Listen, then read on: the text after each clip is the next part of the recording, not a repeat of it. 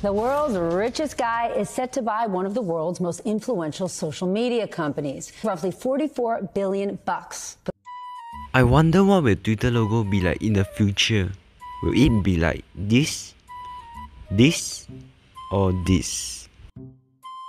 Which one is your favorite? Comment below.